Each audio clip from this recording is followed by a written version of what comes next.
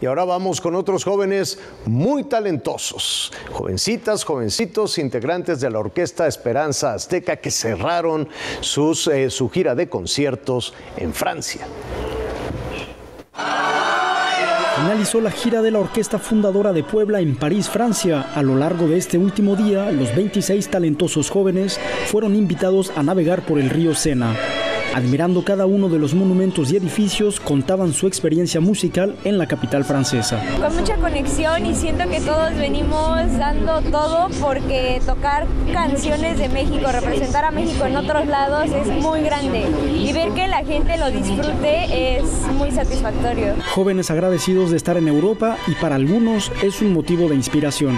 A Fundación Azteca por hacer este sueño realidad. Realmente nunca me imaginé estar en París uh, haciendo lo que amo.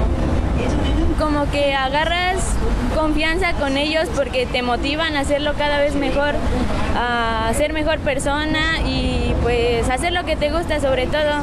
El hecho de estar aquí haciendo lo que me gusta pues es muy bonito, realmente Al finalizar el día, la orquesta fundadora de Puebla cerró con broche de oro, siendo recibidos en la Embajada de México en Francia a cargo del embajador Juan Manuel Gómez Robledo, durante una recepción con motivo de la fiesta de independencia.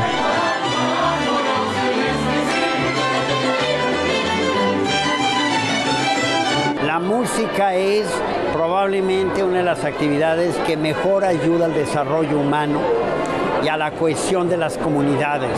Es, creo, estoy convencido, uno de nuestros mejores baluartes contra la desintegración de las comunidades y de las familias, una de las mejores defensas frente a la violencia y al crimen, es algo extraordinario. Y saber que Fundación Azteca desde hace 10 años hace tanto y en tantos lugares de la República es realmente un orgullo.